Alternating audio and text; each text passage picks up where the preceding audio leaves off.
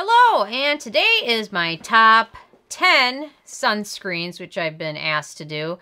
And uh, this summer I'll definitely do more sunscreen reviews. But anyway, I thought I would do my top 10, and then I've got a few that I recommend you avoid. So uh, let me just get started with a good all-around sunscreen. I've got some good ones that are tinted, some good ones that are chemical, some good ones for oily skin, and some good ones for uh, those with drier skin. So this one's a good all-around sunscreen. I really like it. The Farmacy Beauty Green Screen.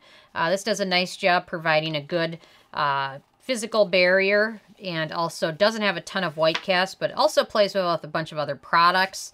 And so far, I really like it. It's great for those. I've got dry skin, but I've got a lot of friends with those with more uh, oily skin who also like this one and uh, just massages in very easily and provides a good SPF 30. So this is a good one. It's very hydrating, but it works well under foundation or primers. So uh, this is a really good one. Really like it. If you haven't tried it, uh, it's well worth checking out.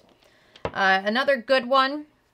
Uh, this one's more towards those with dry skin, and this is the Paula's Choice Resist uh, Skin Restoring Moisturizer, which is uh, got an SPF of 50 in there, and it's a chemical sunscreen. So if you're not a big fan of the chemical sunscreens, uh, it could be, this might not be the best one for you, but I like it because it just works flawlessly under foundation and primer uh, over the underneath those things. So, and it's invisible since it's chemical, and it also is more hydrating. So this is a good one. Paula's Choice, most of their sunscreens from the brand are great. So I couldn't do any list without including Paula's Choice or Clinique and a few other brands. So that's also a good one.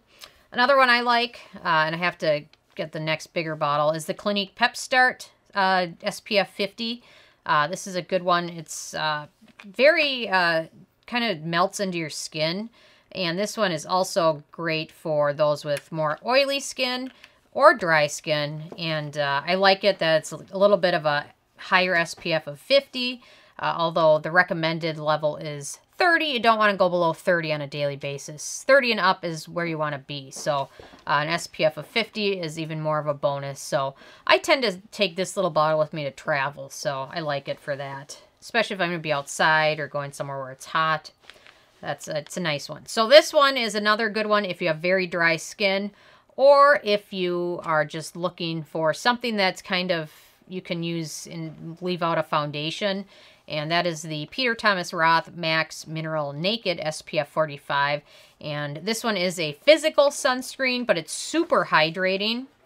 Uh, and it also has a bit of a skin tint in there. So uh, I like to use this on days when I'm kind of being a little bit more minimal and I don't want to wear a lot of foundation because once it blends in, uh, it kind of covers up minimal imperfections and uh, kind of soaks into skin. So it doesn't have a white cast, but uh, it's tinted, so which is nice. And it's got an SPF of 45, which is good. So if you have dry skin, this is a good one. If you have more oily skin, I would probably not recommend it just because it is so hydrating.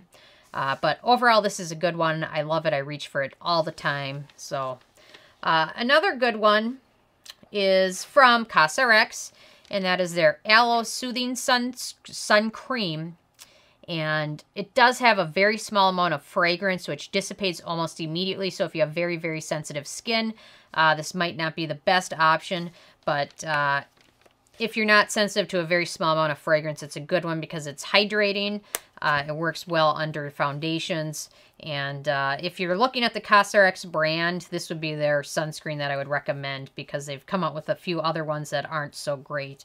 But I know this is a lot of people's um, HG foundation, so uh, seems to work well. And this one I can say if you've got oily or dry skin, it seems to work well for both types. So let me let me wipe off my hand really quick. I've got my Sephora little watermelon cleansing wipes, which is what I use to kind of wipe off after a review. So anyway,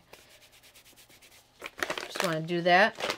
Uh, so another good one that I really like, and I've just gotten this recently, uh, is the, how do you pronounce that? Make Prem? Make P-R-E-M? Uh, it's K-Beauty brand, uh, and this is their uh, Reduce Heat UV uh, Defense Me. Reduce Heat. But anyway, sorry. But this is a good one. It's an SPF of 50, so it's a little bit higher than uh, most, but uh, this one works well underneath foundations and uh, doesn't have any white cast and absorbs quickly. So this one, if you have more oily skin or dry skin, this one seems to work well. And uh, if I'm just doing things uh, working or just not being outside a lot, this is a good one. It's a little bit more uh, elegant than some other ones, but it also provides a high level of sun, sun protection. And yeah, so I'm really glad I picked this one up. And I found it to be quite affordable because this bottle is 2.53 ounces instead of a lot of the other ones are one ounce or a little bit more than one ounce. This one's a little bit better of a deal. So uh, anyway, that's a good one to check out for normal and oily skin. And let's see. Another one that I really like is the Volition Beauty Prismatic Luminizing Shield. And this one's got an SPF of 50 and it works well underneath foundation.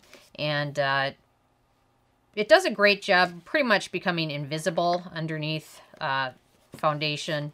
So, and it's uh, a little bit physical and a little bit of a chemical sunscreen as well. And I found it just to work well and it absorbs quickly. And uh, I don't know, if when people ask for a recommendation, this is one of the first ones I, I shout out to you guys because I find if you're newer to trying sunscreens, this is one that people tend to like and not find it to be uh, too much of any one thing. So, and it seems to work well for oily skin and a dry skin. And especially if you're someone that likes to use it underneath foundation, it's a good one. So, I don't know, how many have I done? One, two, three, four, five, six, seven. So, I've got like 50 more. So, stay tuned. anyway, so the Pacifica SPF 30 Coconut Glow. This is a good one if you want to look a little bit tan and you want a little bit of sun protection. Uh, it's not a self-tanner, but it's tinted, but when you rinse your face off, uh, you won't have any uh, of the tint left over. But this one also works well in the summer. Oops, I didn't shake it better well enough. Uh, in the summer, if I just want a sunscreen that's got a little bit of a glow to it, uh, this is a good one, but definitely shake it up well. Let's try that again. Let's see. So, so it's got a little bit of a bronzing effect and uh, it just gives you a little bit of a subtle tan and protects you your skin as well. So I wish, you know what I haven't found though, is a SPF that is also a self-tanner. There's got to be some out there, but I don't think I've tried any. Anyway, and this one is also much more affordable. It tends to work a little bit better on those with uh, drier skin because it's tends to be a little bit more emollient and it's got a it's got a very high level of zinc 20% so uh, it does have a little of a scent, which is a vanilla scent, so it's not bothersome as much, and it dissipates pretty quickly. So uh, if you're looking for a little bit more of a glow and sun protection, this is a good one. So like that. Let's see. The Drunk Elephant. This is good for dry skin. If you have oily skin, I have a feeling you're probably not going to like this one as much. The Umbra Tint Daily Defense with SPF 30. Uh, I find this to be super hydrating. It also has a tint to it, but not as much of a tint as the uh, Pacifica sunscreen. And it's a good product. It works well with other Drunk Elephant products. And uh, if you use foundation, I found it to work well underneath uh, some matte, more matte foundations. If you use it over a more hydrating foundation, it can have a tendency to look a little too greasy, but if you have super dry skin, uh, this is also a good one. This one also has zinc oxide at 20%. It's pretty similar, in my opinion, to the Pacific one, except this one is fragrance-free. So if you have super sensitive skin, uh, this is probably, so far out of most of the ones I've reviewed thus far, this would probably be the one I would recommend if you have very sensitive skin. So that is a good one. And let me wipe off my hands one more time. And I've got a few left, and then a few that I recommend potentially avoiding. And uh, another good one, Clinique came up on the list a couple times, is their Super City Sunblock. This is a great one for a lot of people. And if you um, have drier skin, this is good. Or if you have oily skin, it's oil-free, so it's not super hydrating. But this one works well under foundations. Uh, it's probably one of my my more uh, often reached for sunscreens just because it's reliable. It's got a decent uh, protection of 40 and definitely takes a little bit of time to blend in. And a lot of days if I don't feel like wearing a foundation, I'll reach for this one. So a little bit of it tends to, to go a longer way, which be careful with sunscreen with that. But uh, this is a good one. I know a lot of people love it. Uh, I reviewed it, and I get comments all the time from people that say this is my go-to. I love it. I love it. Love it, love it, love it, love it.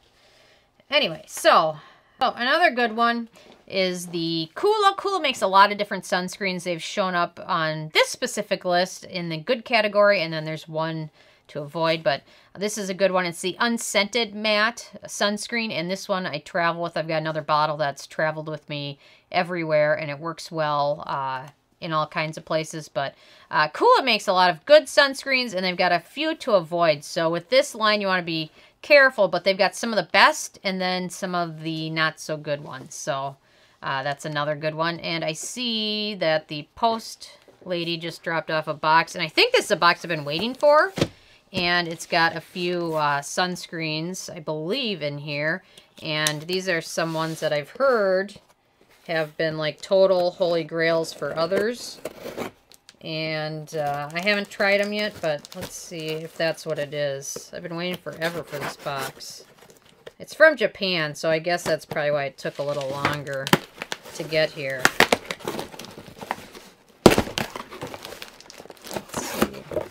not the best with opening stuff. See, I've got some Japanese newspaper. That's kind of funny. Okay, let's see. I'm excited. So, these are a few sunscreens that I've heard are like holy grails. And I had to pick them up. Biore. Japanese Biore. They don't sell these like in the U.S., but it's their uh, Essence sunscreen, water gel, and uh, anyway, so now I'm excited to try them because these might appear on the list next time. We'll see. If I can figure out the ingredients list, I'm not sure. But a lot of people have mentioned that these are some of their HGs. So definitely going to be trying these out soon. So thank you, Post Lady. Okay, a couple more. Tatcha. This one's great, especially for those with oily skin. Uh, but tends to be a chemical and a, and a physical sunscreen, and it works well. It's got a little bit of fragrance in there, so if you have very, very sensitive skin, it might be one to avoid. But overall, this one's very elegant. It works well under foundation, and it's a good one. But if you're going to pick it up, don't pick it up at Sephora. Pick it up at... Check it out online because I believe Costco sells it for way more affordable prices. So that might be... I don't know if you have membership or not, but I thought I would point that out. And uh, I had a big bottle of this, and I went through it, and now it's my tiny little bottle of the Josie Maran SPF 47, and I love it. I got to pick up the next big bottle, but all I had left was one of the little bottles, but this is a very good one. I haven't reviewed it yet. I'll definitely do so uh, this spring. I'll probably do another sunscreen week, so this is a good one. I know a lot of people have asked about it, and if you're thinking about picking up, it's great for dry skin.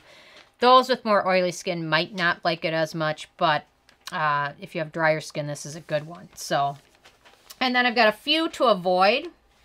And like I mentioned before, Coola shows up on the list. The Sunsilk drops, they work well. It's like invisible. Uh, however, it has a lot of fragrance in it. And uh, fragrance just is a no-no. But it's very elegant in the way it works. And the bottle's beautiful. And the dispensing is beautiful. But it's just too fragrant, in my opinion, to recommend. So that is one, in my opinion, to avoid. Although it works well under foundation and things. So and another one, this I reviewed this recently. The CeraVe came out with uh, hydrating sunscreens, uh, SPF 30 and SPF 50. Both of them are ones to pass up. They don't have any concerning ingredients. However, the white cast in them is just so, so noticeable and it's almost impossible to really work well with. And to be honest, towards the end of the day, it left my face feeling super uh, dry and like itchy so I really recommend avoiding this. Although there's a few people from reviews I've read that have liked it.